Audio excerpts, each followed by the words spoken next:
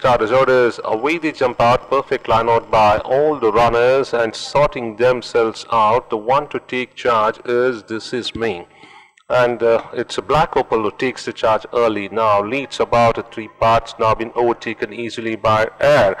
Air extends well crossing the 800 to a good lead of about three from black opal followed by true icon.